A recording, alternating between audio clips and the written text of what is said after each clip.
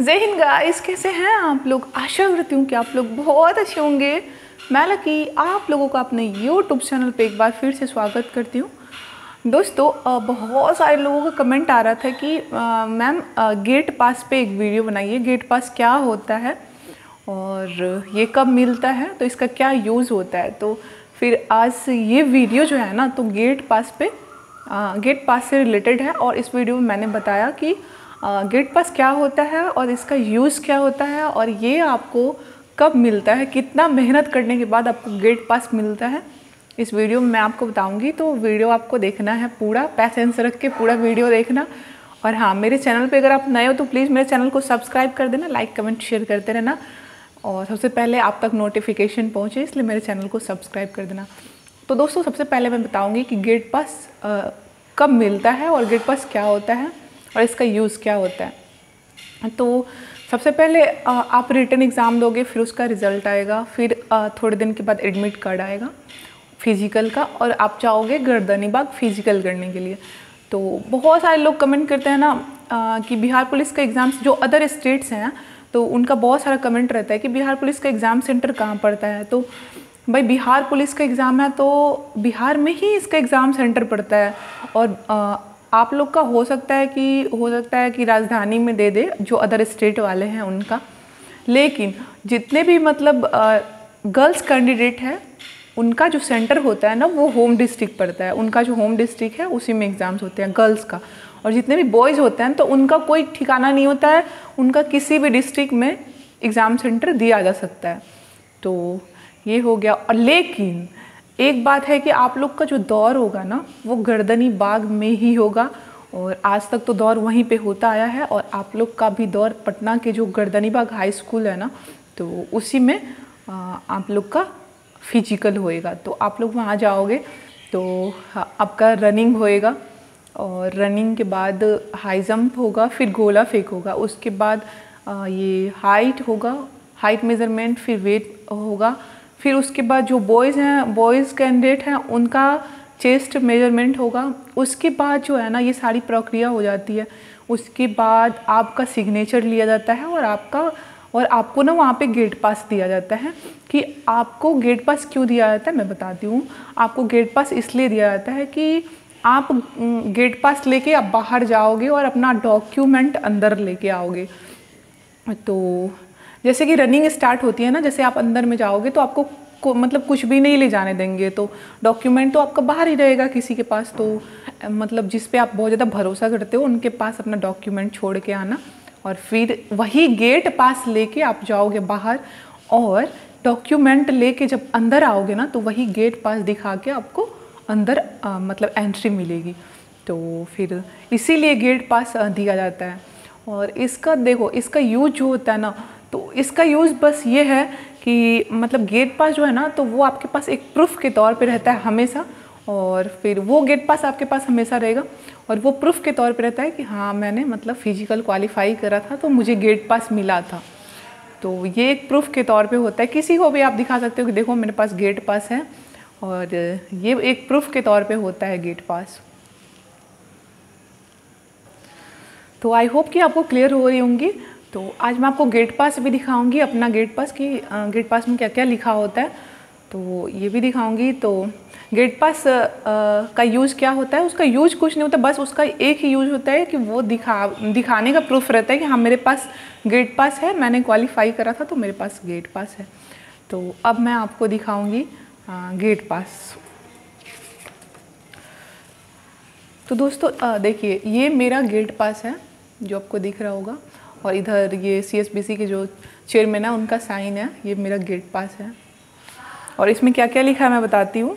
सबसे ऊपर में तो गेट पास लिखा हुआ है, इसमें रोल नंबर लिखा हुआ है। जो भी आपका रोल नंबर होएगा ना तो सबसे सबसे ऊपर में ना इसके, सबसे ऊपर में रोल नंबर लिखा होता है, जो भी आपका रोल नंबर होगा। और फिर उसके बाद कैंडिडेट नेम लिखा होता है, जो भी आपका नाम होगा, उसके बाद फादर्स नेम लिखा रहता है। उसके बाद पीईटी डेट लिखा हुआ है, इस पे लिखा हुआ अट्ठाईस तारीख जनवरी में, दो हज़ार इक्कीस। तो अट्ठाईस जनवरी को मेरा पीईटी हुआ था तो मैंने वीडियो में भी बताया था।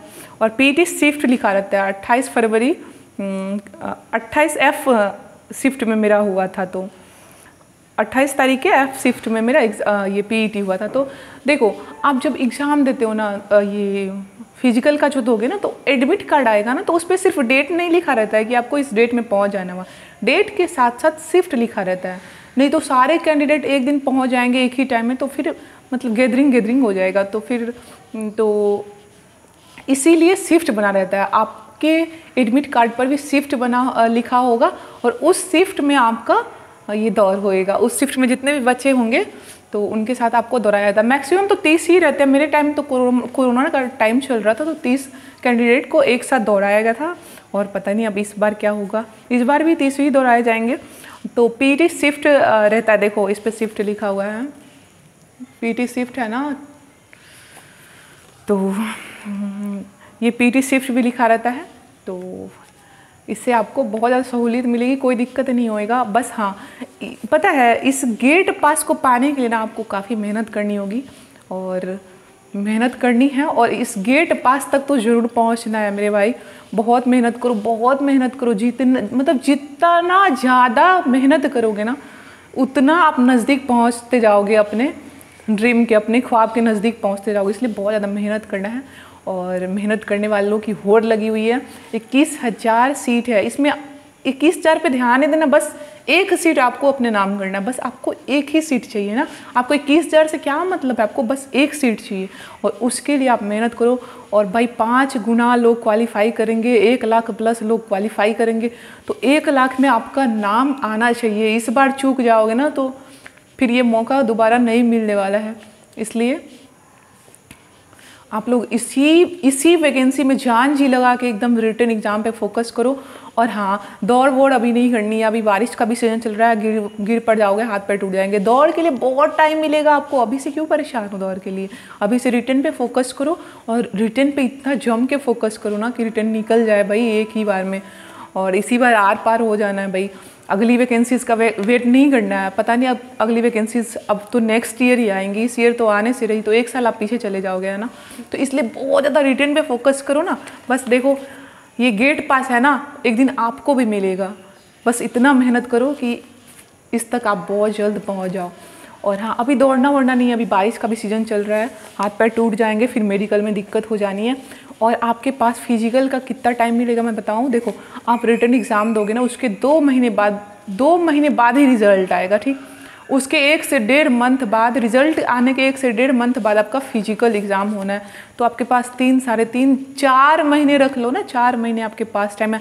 आप एग्ज़ाम दे के आना ना और दौड़ना शुरू कर देना उसी दिन से। जब से आप एग्ज़ाम दोगे ना, उसी दिन से आप दौड़ना शुरू कर देना और तो इसीलिए उतना टेंशन नहीं लेना है। फ़िज़िकल का फ़िज़िकल ज़्यादा, उतना ज़्यादा टफ नहीं होता है।